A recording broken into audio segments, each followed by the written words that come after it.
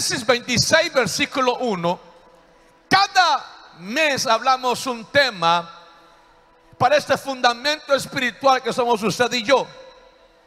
Génesis capítulo 26, versículo 1, la palabra dice, después hubo hambre en la tierra, además de la primera hambre que hubo en los días de Abraham. Y se fue Isaac a Abimelech, rey de los filisteos, en Gerar. Y se le apareció Jehová y le dijo, no desciendas a Egipto, habita en la tierra que yo te diré, habita como forastero en esta tierra y estaré contigo y te bendeciré porque a ti y a tu descendencia daré esta tierra y confirmaré el juramento que hice a Abraham, tu padre. Cierra su Biblia y présteme toda su atención. Yo quiero hablar rápidamente acerca de la oportunidad. La crisis es o una oportunidad o un peligro. En chino, por ejemplo, la palabra crisis se escribe con dos ganchos, diga dos ganchos. Uno de los ganchos significa peligro y otro gancho significa oportunidad. Cuando usted junta el gancho de peligro con oportunidad, se arma la palabra crisis. En los días de Isaac hubo una segunda hambre. La primera en la tierra fue en días de Abraham. Y Abraham huyó a Egipto porque en Egipto había abundancia. Pero ahora que está Isaac, hijo de Abraham, y hay otra hambre, otra crisis, lo que quiere hacer Isaac es lo que todo el mundo hace, huir a Egipto. Y Egipto tipifica el mundo. Egipto tipifica mi área carnal, mi naturaleza vieja. Muchas personas en medio de una crisis matrimonial huyen a Egipto. Recurren al alcohol, recurren a las drogas, recurren a la calle. Es muy importante entonces entender que un hombre y una mujer de Dios debe aprovechar la crisis no para huir de su hogar, sino para fortalecer su hogar. Tenemos tantos hijos sin padres porque en el momento de un problema familiar o espiritual solemos buscar las cosas que antes nos ataban. ¿Alguien me está entendiendo aquí? Solemos buscar al hechicero, al brujo, cuando usted y yo tenemos al Dios verdadero, el cual es poderoso para restaurar matrimonio, levantar tu vida, levantar tu casa y hacer de ti una bendición. Dios le dice a Isaac, no te vuelvas a Egipto. Tu padre sí lo hizo. Incluso tuvo que mentir. Tú te quedas en Gerar. Y no era fácil quedarse en Gerar. Porque era tierra de los filisteos. Y como usted y yo sabemos, los filisteos desde el principio de la historia han sido aférrimos enemigos de Israel. Todavía hoy la franja de Gaza, que es el área donde vivían los filisteos, es el área de conflicto en la tierra actualmente de Israel. Entonces hay momentos en la vida, en la vida espiritual, en la vida familiar, en la vida financiera, en la vida matrimonial, donde el corazón se siente desanimado y quiere volver. Pero los grandes hombres de Dios aprovechan la oportunidad para honrar a Dios, para levantarse en Dios y creer la palabra. Eclesiastés 9:11, la palabra nos habla de tiempo y oportunidad. Dice la palabra, me volví y vi debajo del sol que no ganan todo el tiempo los rápidos la carrera. Ni la guerra la ganan casi siempre los fuertes. Ni aún los sabios son ricos. Ni los prudentes tienen riqueza. Ni aún los elocuentes tienen favor. Sino que tiempo y oportunidad. Levante su mano derecha en alto. Diga tiempo y oportunidad acontecen a todos. El mismo tiempo que tiene Messi o Ronaldo, lo tenemos nosotros. Porque hay personas que tienen éxito y otros solamente lo vemos pasar? Porque muchos de nosotros no estamos aprovechando ni el tiempo ni la oportunidad. Escúchenme los jóvenes. Habrá tiempo de enamorarse. Pero ahora, ahora es tu tiempo de estudiar. Vendrá tiempo para buscar novia, alcanzar novio, pero por ahora hay que estudiar. El problema de nuestra juventud y aún los adultos es que no entienden los tiempos. El tiempo de Dios siempre será perfecto. Pero muchos no aprovechamos la oportunidad porque no estamos en el tiempo y tampoco estamos aprovechando la oportunidad. Diga conmigo fuerte, tiempo y oportunidad acontecen a todos. Por ejemplo, no conoceríamos a David de no ser por un Goliat. 40 días los hermanos de David y todos los de Israel tuvieron la oportunidad de poner su nombre en la historia. Pero aunque tuvieron el tiempo, no aprovecharon la oportunidad. Y David llegó con pan y queso, escuchó la voz del gigante y usted sabe la historia. Hoy David es conocido porque aprovechó la oportunidad. Levante su mano derecha diga, Padre, ayúdame a aprovechar la oportunidad. Te quedas en Gerar. Tu padre huyó a Egipto en la primera hambre, pero si te quedas aquí, yo voy a confirmar el pacto. Levante su mano derecha en alto. Mira lo que la palabra dice en Génesis capítulo 26. Esto es poderoso, iglesia. Dios le da una promesa de bendición y le dice a Isaac, si me obedeces, si te quedas en Gerar, si no huyes a Egipto, multiplicaré tu descendencia como las estrellas del cielo. ¿Alguien lo cree aquí hoy? Daré a tu descendencia todas estas tierras. ¿Alguien lo cree aquí hoy? Aleluya. Y todas las naciones de la tierra, lo que Dios quiere hacer con nosotros, tiene un pacto mundial, tiene impacto en toda la tierra. Si tan solo entendiéramos esto, si tan solo aprendiéramos a escuchar la voz de Dios. El problema de la iglesia es que no le gusta orar.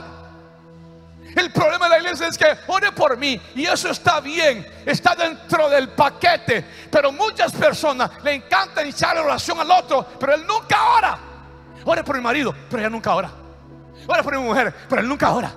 Ore por mi hijo que está rebelde, pero ella nunca ora.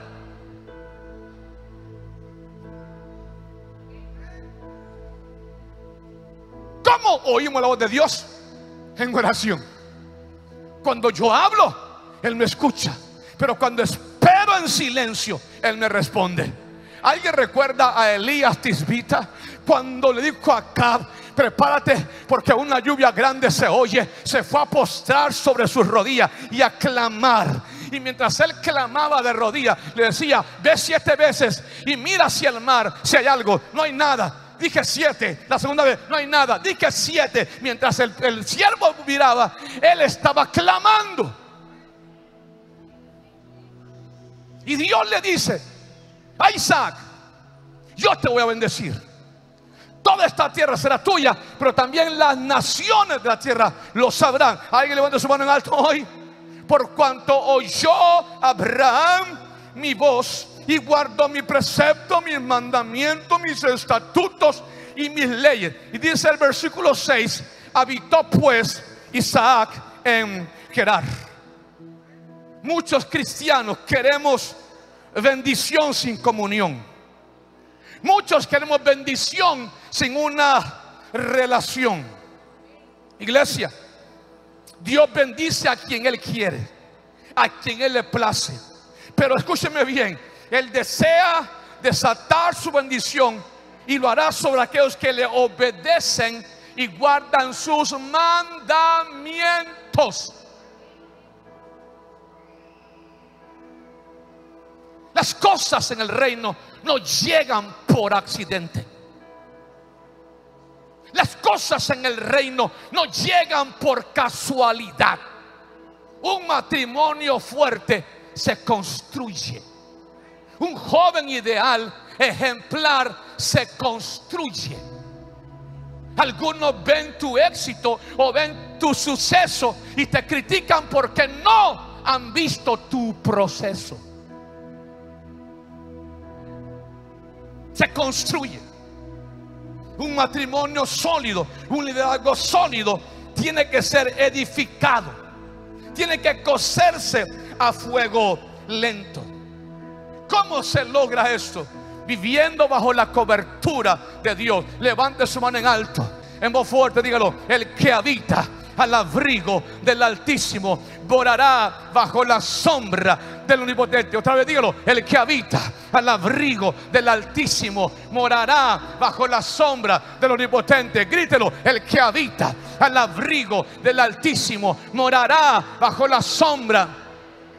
Número cuatro, el que habita al abrigo del Altísimo morará bajo la sombra del Omnipotente. Número 5 dice, el que habita al abrigo del Altísimo morará bajo la sombra del Omnipotente. Y cuando estoy ahí, diré yo a Jehová, esperanza mía, castillo mío, mi Dios en quien confiaré. Y él me librará del lazo del cazador, de la peste destructora. Con sus plumas me cubrirá. Y debajo de sus alas estaré seguro.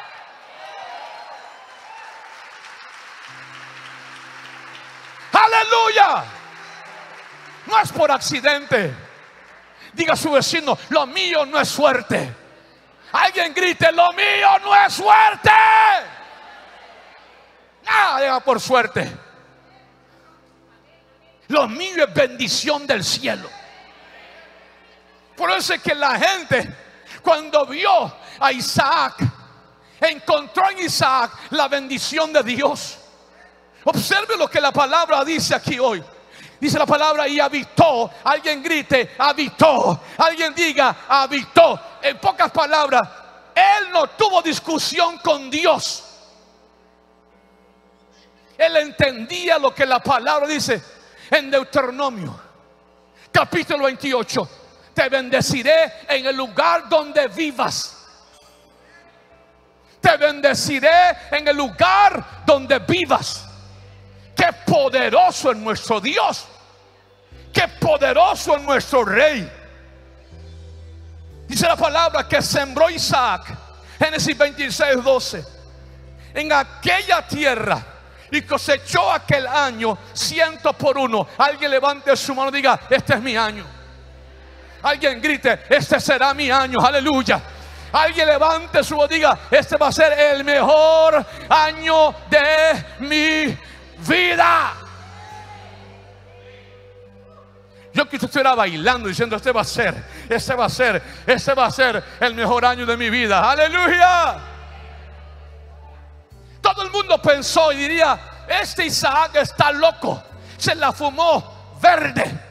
Pero cuando usted escucha a Dios, dice la palabra, los que confían en Jehová son como el monte de Sión, que no se mueve, sino que permanece para siempre. Como Jerusalén tiene montes alrededor de ella, así el Señor está alrededor de su pueblo. Y Él sembró ese año. Alguien levante su voz, diga, este es mi año. Toque cuatro personas cerca de usted, dígale, este es mi año, aleluya. Iglesia, prepárate para sembrar y cosechar en abundancia. Iglesia, prepárate para el por fin el fruto de tu cosecha. El Dios de los cielos no detiene su mano para bendecir aquel que anda en sus palabras, aquel que obedece su voz. Y sembró Isaac aquí a tierra y cosechó al ciento por uno. Y le bendijo Jehová. Versículo 13, levanta la mano en alto. Y el varón se enriqueció. Alguien diga recibo. Y fue prosperado. Grita, recibo y se engrandeció hasta hacerse muy poderoso. Yo le tengo una palabra aquí hoy. No es asunto de suerte, es asunto que la bendición de Dios te siga. Es asunto de que busques el rostro de Dios de tal manera que todo lo que tu mano toca prospera. Míreme a mí, seré flaco, pero todo lo que toca es bendecido. Mire, mi esposa le zampé dos. ¡Viva Cristo, de Dios! Aleluya. Dije que este va a ser tu año. Busque tres y dile, este es mi año. Aleluya. Alguien diga, este es el año más grande de mi vida. Pero ojo, ojo, ojo, ojo, ojo. El año se construye. ¿Cómo? Sembrando. Algunos quieren que Dios le bendiga y no sirven a Dios. Nananina, nananina. Alguien diga y sembró. Hay gente que quiere que le sonrían y anda cara de perro. No te van a sonreír. Hay gente que quiere que la gente sea amable con ella y ellos son unos pedantes, petulantes, orgullosos. Ponga su mano en su vecino y dile, sea humilde, chiqui.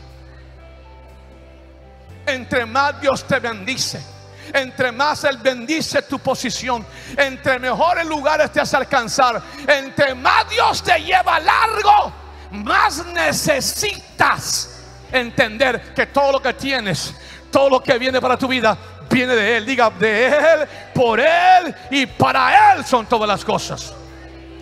Mm. Alguien diga y sembró.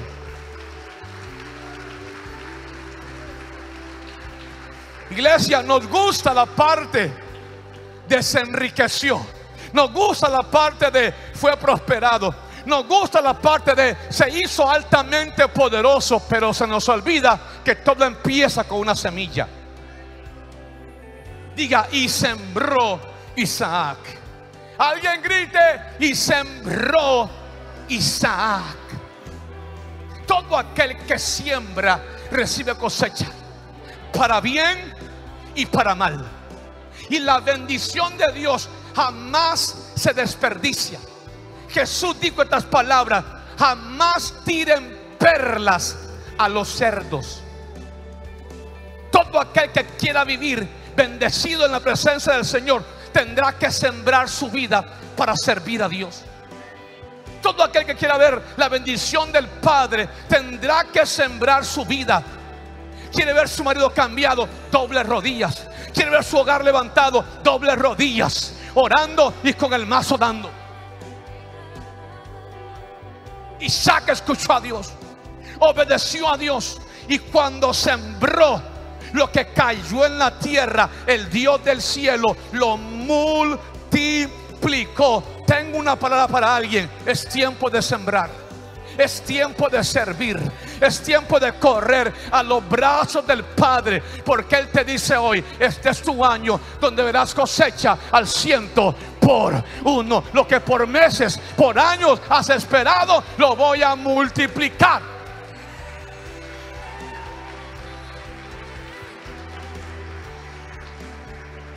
Lo voy a multiplicar. Y sembró Isaac. Si tiene su Biblia, subraya esa palabra. Y sembró Isaac. Y se enriqueció. Y fue prosperado. Y se hizo altamente poderoso. Quiero que levante su mano en alto. Usted es peligroso para el infierno. ¿Sabe por qué el diablo nos mete en nuestra mente esa mentalidad de que, ay, yo no puedo, ay, yo no tengo experiencia, ay, yo no sé hablar, ay, yo no entiendo, ay, que otros hablen, yo ayudo, yo apoyo? Porque sabe el enemigo que cuando te levantas, Dios se levanta al par tuyo. Que cuando peleas, el cielo pelea de tu lado que cuando tú le crees a Dios, hay ángeles que se mueven a la orden de tus labios sembró Isaac. ¿Sabe por qué cosechó al ciento por uno? Porque la obediencia es el mejor abono, es el mejor fertilizante para una gran cosecha. Alguien diga la obediencia. Alguien diga el servicio a Dios es la mejor, la mejor, la mejor materia prima, el mejor fertilizante para un milagro. Alguien diga sembró. Alguien grite, sembró. Y fue enriquecido. Y fue prosperado. Y se hizo muy poderoso. Esto es poderoso, iglesia. Mm. Porque tu bendición y prosperidad no depende de personas, ni del gobierno, ni de la suerte, ni tampoco de tus capacidades. Tu bendición viene acompañada del favor y la gracia del Señor. Busque tres personas cerca. Usted este es mi año. Alguien grite, es tiempo de sembrar y de cosechar. Alguien declare, es tiempo de sembrar y veré la cosecha. Mm. Yo siento a Cristo en este lugar. Dije, siento a Cristo en este lugar. Aleluya. Aleluya. Quisiera contarle tantas cosas, pero mejor me cierro el pico. Levanta el mano en alto. Nehemías 2.20 dice estas palabras. Quiero que lo grites en voz fuerte. Di, el Dios de los cielos. Grita, el Dios de los cielos. ¿Quién? El presidente. ¿Quién? Los Estados Unidos. ¿Quién? La comunidad europea. ¿Quién? Grite, el Dios de los cielos. Él nos prosperará y nosotros, sus hijos, nos levanta. Póngase de pie hoy, levante el puño en alto. Quiero que mire a la persona que está a su lado. Dígale así fuerte, dígale, el Dios de los cielos. Dígale, Él nos prosperará. No, no me lo diga a mí, diga a su vecino, diga el Dios de los cielos. Dígale, Él nos prosperará y nosotros, sus hijos, grite, nos le... Oye iglesia, eso contra el infierno es una zapatada. Cuando la gente te diga, ay, la situación está crítica, usted levante su mano y diga, el Dios de los cielos. Alguien diga, Él nos prosperará y nosotros sus hijos nos levantaremos y edificaremos. Mañana que se suba al taxi, mañana que se suba al bus y encuentre una persona a su lado que le diga, ¿cómo está la cosa, doña? Ahí está peluda. No, no, levante su mano, doña, diga conmigo, el Dios de los cielos, Él nos prosperará y nosotros sus hijos nos... Casi no escucho a alguien grita conmigo, el Dios de los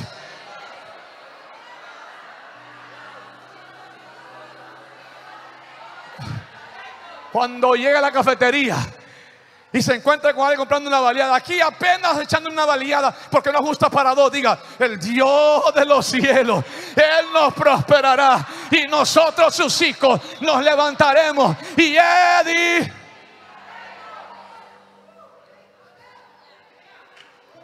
Este es año para ver casas. Te vuelvo a repetir, este año para que estrenes tu casa. El problema nuestro es ese, que lo que hablamos siembra maldición. Lo que sale de tu boca siembra maldición. Aquí estamos, sí, verdad. Ay, sí, verdad. Tu bendición no viene del presidente. No importa quién se siente ahí. Puede sentarse el, el, hombre más inteligente o el más bruto en la silla presidencial. El que tiene a Dios lo tiene todo. Lo vuelvo a repetir. El que tiene a Dios lo tiene todo. La palabra dice, levanta la mano en alto. La bendición de Dios es la que enriquece. La bendición de Dios es la que enriquece. La bendición de Dios es la que enriquece y no trae preocupaciones. Alguien levante su mano grite, el Dios de los cielos, Él nos prosperará. Grita, y nosotros sus hijos Habla a tu empresa hoy. Tómate 30 segundos para orar. Levanta la mano en algo. Yo siento a Cristo aquí hoy. Dije, siento a Cristo aquí hoy. Y sembró Isaac en tierra árida y cosechó. Levanta la mano en alto. Esta semana miraba un canal de este país. Fueron varios canales allá a Choluteca, tierra árida, a buscar a un hombre que siembra camotes y tienen hasta 40, 50 libras los camotes. Y le dijeron, ¿cuál es su técnica? No, yo solo sirvo al Señor. Y yo siembro. Y los camotes son gigantes. Tengo una palabra para alguien. No es la tierra, no es el lugar es aquel que suelta la palabra, es aquel que siembra y cree que el Dios de los cielos es el que prospera. y el que hace que sus hijos se levanten y edifiquen. Alguien levante el puño en alto, dile a tu vecino, es el Dios de los cielos. Alguien dígalo conmigo, es el Dios de los cielos. Aquí hay personas que demasiado tiempo han creído en el hombre. Dice la palabra, maldito aquel que confía en el hombre, pero bendito aquel que ha puesto su confianza en el Dios de Israel. ¿Cuántos confían en el Señor aquí hoy? No te escuché, pregunté que cuántos confían aquí en el Señor. Levanta el puño en alto, grita, el Dios de los cielos. No lo escuché, dilo más fuerte, el Dios de los cielos. Le voy a dar una tarea. Cuando salga de aquí, al salir, va a tomar su celular, va a usar su WhatsApp, va a usar su, su, Facebook y va a empezar a poner a partir de hoy, cada mañana que se levante, el Dios de los cielos, Él me prosperará. Y yo que soy su hijo, me levanta.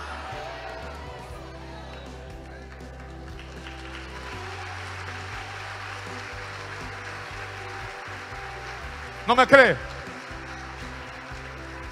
Un rey malvado contrató a un profeta mentiroso y le dijo, quiero que me maldigas a Israel.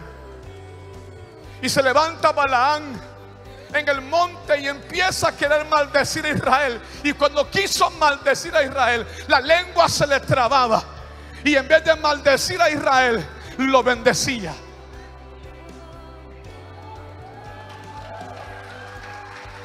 Levanta la mano en alto cada vez que te quieren maldecir. La maldición que te lanzan se convierte en bendición. Te lo vuelvo a repetir. La maldición que te sueltan se convierte en bendición. Algunos por eso, aunque corran, no adelgazan. Porque tanto te maldicen que a mí te engordan.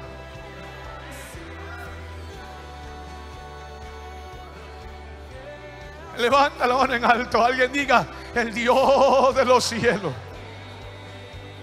La gente te va a tener envidia.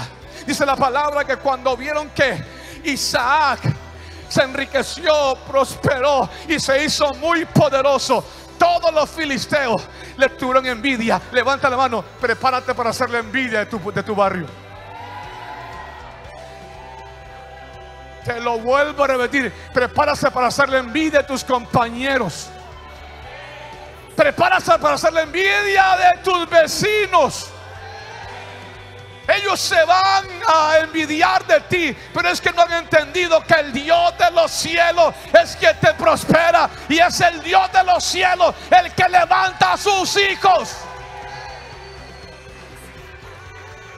Vamos, busca tres personas y dile, prepárate para hacer la envidia de tu colonia. Alguien grite, prepárate para hacer la envidia de tu barrio. Es más, les suelto una palabra. Porque hay gente con sueños, con planes aquí hoy. Prepárate para hacerle envidia de la gente que te conoce.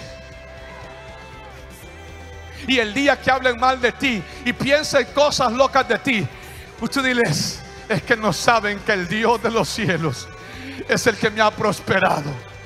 Mire, el que tiene la bendición de Dios, piedras pinta, piedras vende. Aunque la tortilla le salga cuadrada, venden cantidades. El problema de la iglesia no es de recursos, es de lo que habla. Alguien diga, sembró Isaac. Diga y cosechó al ciento por uno. Levanta la mano en alto, dijo amigo, mejor el desierto con la bendición de Dios que el valle sin la bendición de Dios. Yo no sé usted, pero yo prefiero el desierto con la bendición de Dios que el valle sin la bendición de Dios. Yo recuerdo que un día mi padre nos contó que él tenía un buen puesto en Tegucigalpa y luego Dios lo movió a la ceiba para un puesto más pequeño y con menos dinero. Y un día mi hermano, hablando él y yo decíamos, wow, o sea, si mi papá se hubiese quedado en Tegucigalpa, hubiéramos ganado más plata y no hubiésemos aguantado tanta hambre. Y el Señor me dijo, ¿De qué sirve el dinero si no me tienes a mí? ¿De qué sirven los lujos si yo no estoy ahí? No estoy diciendo que hay que ser pobre. Mejor ser pobre y feliz con la bendición de Dios. que rico y miserable, triste, enfermo, con todo lo que puedas tener en la vida, sin Dios en tu vida. Algo entendió Isaac. Me conformo con lo que tengo. Porque he de ver la bendición de Dios. Quiero que levantes sus manos en alto. Quizás muchas veces te has quejado diciendo por qué no logro lo que quiero, porque otros tienen, porque otros avanzan, porque otros tienen más que yo con menos esfuerzo. Levanta la mano en alto. Dice la palabra que David se quejó un día y dijo, porque los impíos prosperan y yo no. Porque ellos con menos trabajo y menos carga logran más de lo que yo logro y por qué yo no. Y dice el rey David, levanta la mano en alto, hasta que un día, hasta que un día, hasta que un día entré en el reposo de Dios y Dios me enseñó el fin de ellos. No deseamos el fin de los malvados, pero dice él, me mostró el fin de ellos. Dice David, y agradecí a Dios por lo que tenía. Cuando aprendes a estar contento con lo que tienes, empiezas a vivir en prosperidad. Porque la palabra prosperidad significa caminar con la bendición de Dios. Y otra versión de prosperidad significa estar contento con lo que tengo. Viene tu mejor año. Viene tu mejor estación. Viene tu mejor época. Lo que necesitamos comprender es que lo que siembras cosechas. Empieza a bendecir a los que te maldicen. La palabra dice que estos filisteos corrieron a Isaac porque él abría pozos y eran productivos, tenían agua. Y aquellos abrían pozos y eran secos. Y por envidia lo corrían, por envidia lo corrían, por envidia lo corrían. Y entonces habló con Dios y le dijo, Dios, vete al valle. E Isaac se fue al valle. Y en el valle volvió a abrir pozos y encontraba agua. Levanta mano en alto. Dios nunca te va a soltar de la mano. Aunque tu padre y tu madre te abandonen, con todo el Señor te recogerá. Aunque sientas que otros logran más que tú, prepárate, porque lo que viene para ti también es grande. Y viene libre de preocupaciones. Y él llegó al valle de Gerar y abrió otro pozo. Y ahí ya no pelearon con él. Dice la palabra que cuando hay un pozo que no pelearon con él, le puso Rehobot. Grita Rehobot. Alguien diga Rehobot. Y la palabra Rehobot significa lugar de expansión. Alguien diga lugar de expansión. Levanta tus manos, di conmigo, ha llegado mi lugar de expansión. Yo sé que no todos lo creen. Yo no vine a predicarle a todos. Esta palabra no es para todos. Esta palabra para aquel que sabe que hoy es tu día de expansión. Alguien diga, le voy a poner nombre. Diga, le voy a poner nombre a mi milagro hoy. Alguien diga, voy a ponerle nombre a mi milagro hoy. La canción que más me ha llevado a 47 países se llama Dios es capaz. Cada vez que una prueba viene, del tamaño de tu prueba, es el tamaño de tu victoria. Del tamaño del gigante que enfrentas, es el tamaño de la victoria que recibes. Yo no sé si es tu mejor temporada o es tu peor temporada. Yo no sé si es tu peor época o tu mejor época. Lo que sí sé es que cuando tú estás de la mano de Dios, lo que tocas prospera. Donde llegas, llegas como un fenómeno. Donde llegas, lo que toca tiene que ser bendecido. Y cuando abrió el pozo y no rieron sobre él, porque la palabra dice que la paz que sobrepasa todo entendimiento guardará tu corazón y tus pensamientos. Cuando algo trae mucha lucha y tú peleas y hay mucha lucha, retírate. Deja que Dios pelee por ti. Cuando hay mucha lucha en algo y no hay paz en lo que vas a hacer, las puertas se cierran, los caminos se cierran. Entonces tú dile, Señor, eres tú que cierra las puertas. Dios tenía mayor bendición para Isaac. Levanta la mano en alto. Así te dice el Señor. Vas a abrir pozos y vas a ver mi bendición. Alguien diga, vas a acordarte de tu aflicción, que fue el día de tu crecimiento. ¿Está conmigo en la iglesia? Así que cada vez que te escuche, Dios es capaz, escuche que un pozo se abrió. Mm. Estoy terminando, iglesia. Yo siento a Cristo aquí hoy. Dije, siento a Cristo aquí hoy. Pero no puedo terminar sin hablar lo que viene. Yo no sé usted, pero yo quiero el corazón de Isaac. Isaac aprendió a oír a Dios. Pero también Isaac se equivocó algunas veces. Al principio mintió sobre su esposa y casi se la roban. Hay que andar en rectitud y verdad todo el tiempo. No solo una temporada. Número dos, dice la palabra que cuando vieron que estaba siendo bendecido, se acercaron los reyes de los filisteos y le dijeron, por favor, hagamos pacto, porque hemos visto que el Dios de los cielos está contigo. y dijimos, vamos ahora, donde Isaac Levanta las manos al cielo. La gente que te despreció vendrá a ti. La gente que te menospreció correrán a ti. Escúchame. Dice la palabra que los que lo corrieron, los que lo echaron de la tierra donde estaba puesto, después vieron que Dios, a pesar que estaba en el desierto, estaba con él. Levanta la mano en alto. La gente sabrá que Dios te ha bendecido. No vas a necesitar decirlo. Se te nota la bendición. Se te nota la bendición. Hace poco estábamos con mi esposa celebrando nuestro aniversario y alguien nos vio en una ciudad y nos dijo, ¿verdad que ustedes son cristianos? Dije yo, ¿por qué? Se les nota en la cara. Se ve que ustedes son gente bendecida. ¿Y sabe qué pasó ese día? Cuando fui a la caja a pagar la cuenta, la cena de esa noche ya estaba pagada.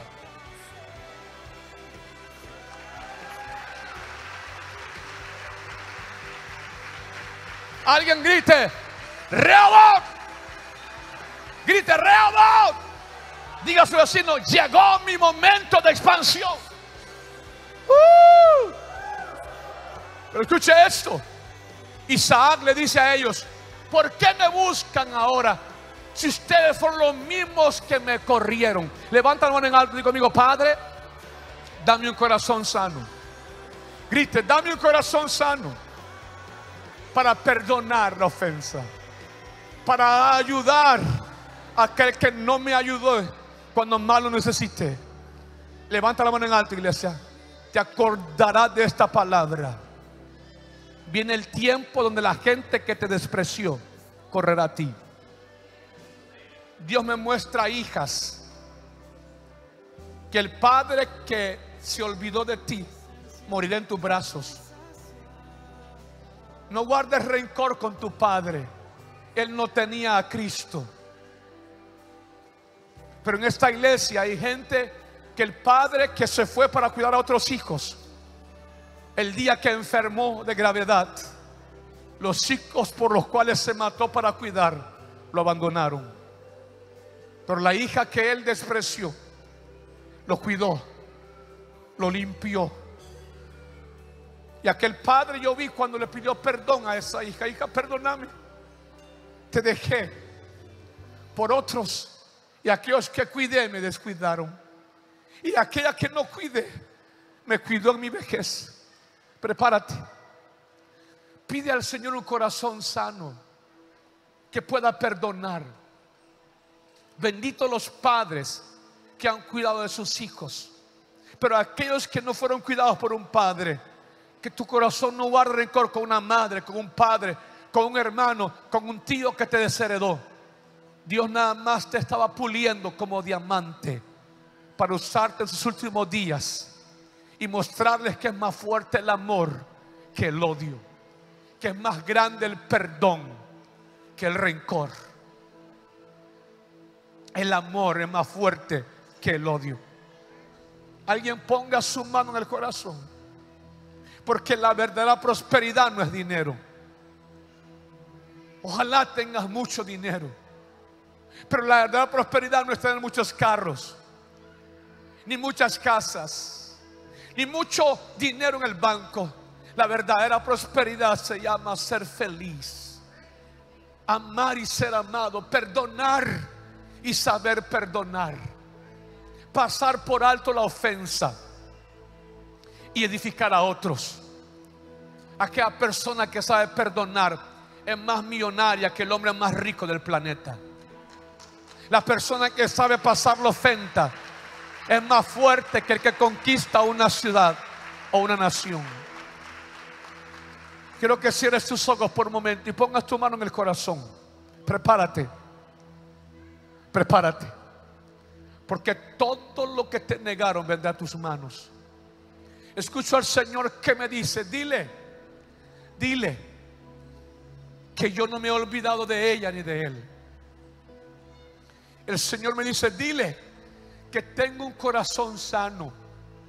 Porque no solamente le bendeciré como nunca imaginó, sino que haré de él, de ella, una bendición para muchos.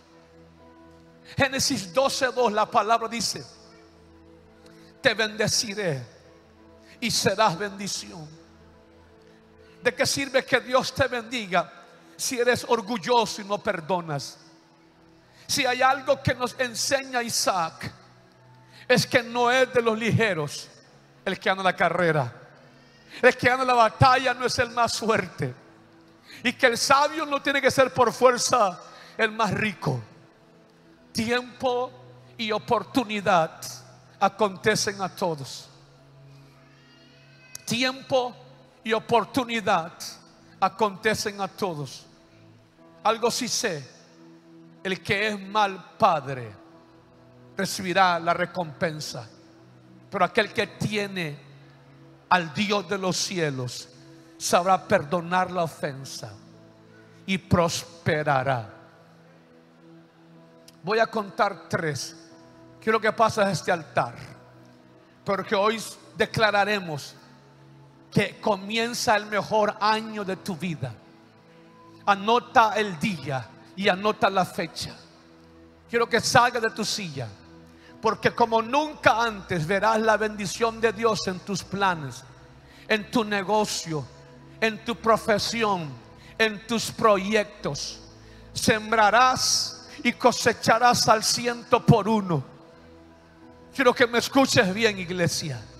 Y lo que siembres te llevará a un nivel donde el Dios de los cielos te bendecirá, te prosperará y te hará muy poderoso.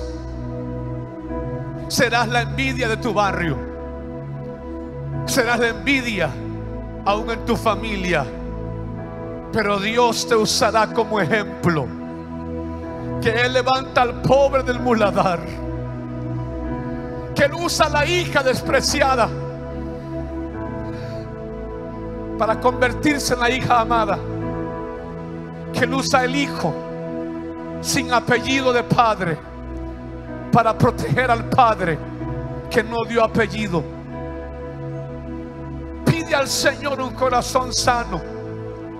Dios me muestra hijas que repudian a su padre. Quizá tengas razón porque no te cuidó, no estuvo ahí el día de tu graduación. Quizá tu padre no te cuidó, se olvidó de, de darte un abrazo, de ir a tu graduación. Quizá a muchos de ustedes nos cuesta perdonar a ese que te dejó, se olvidó de ti.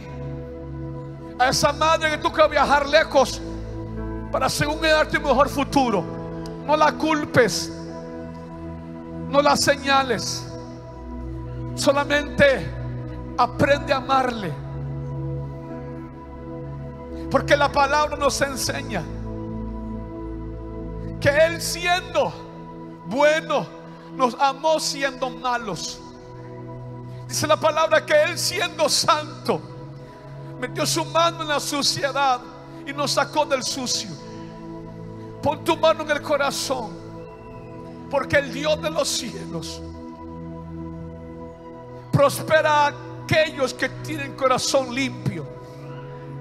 Decía el rey David, ¿quién sumirá al monte de Dios? ¿Y quién estará en su lugar santo? El limpio de manos y puro de corazón. El que no elevó su alma a cosas malas. Quiero que empieces a orar. Algunos de nosotros hoy tendremos que perdonar a un padre que quizá vives con él o nunca viviste con él. Algunos tendrán que perdonar a una madre que quizá viviste con él o nunca viviste con ella. Pero para que la prosperidad llegue, para que la bendición llegue completa, para que el Dios de los cielos te lleve a otro nivel, tienes que aprender a amar a tus enemigos, a perdonar a aquellos que te dañaron. Porque lo que más detiene tu bendición es cuando guardas rencor y no sabes perdonar. La mayoría de personas son infelices porque han deseado pagarle con la misma moneda aquel que les hirió, aquel que te dañó.